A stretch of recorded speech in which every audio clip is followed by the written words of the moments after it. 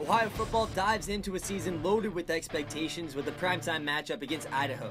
Ohio's five-year run of bowl game appearances snapped last December after posting a 6-6 record.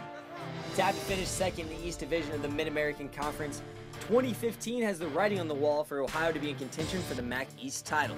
Numerous injuries hurt the Bobcats last season, but good news for this year is that they return depth, and a lot of Ohio returns 20 starters, 10 on offense, 7 on defense, and 3 on the special teams unit. Coach Frank Solich took his time evaluating the quarterback situation during the offseason.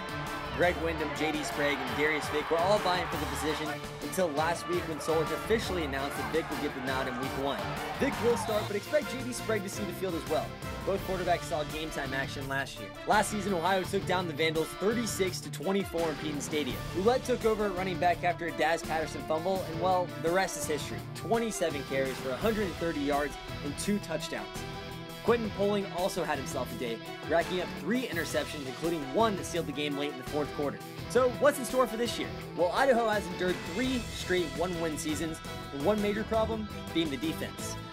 After allowing 462.7 yards per game and 37.3 points per contest in 2014, Idaho's going to switch up their defensive scheme to a 3 4 under their new defensive coordinator.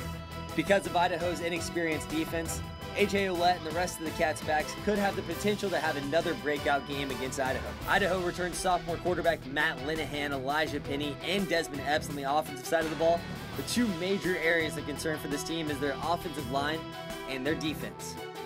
We'll see how this game shakes out at 9 o'clock on September 3rd as Ohio and Idaho kick off the 2015 season.